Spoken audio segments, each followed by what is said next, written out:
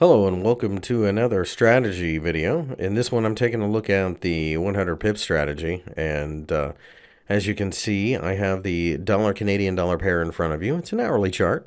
I also have every 100 pips marked off and uh, this has several variations. You could use longer time frames. So for example if you're like a weekly trader then you might be looking more at like 500 pips.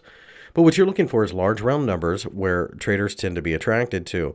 This is for various reasons, one of which are going to uh, one of which is going to be the fact that they have large positions they're trying to put into the market. So they just start buying at 126, for example. But um, there's also options that come into play, and options uh, affect a lot of um, influence on this uh, spot market. So in this, for example, uh, we have a moving average on the chart that is rallying, turning higher, and we also have an impulsive hourly candle. As we have broken above 125, and at this point, I think that uh, you put a a little bit of a um, stop loss underneath.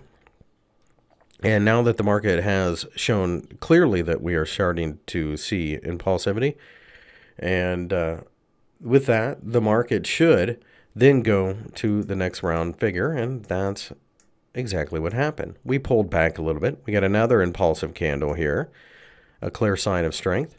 Stop loss right underneath 126, and then we aim to 127.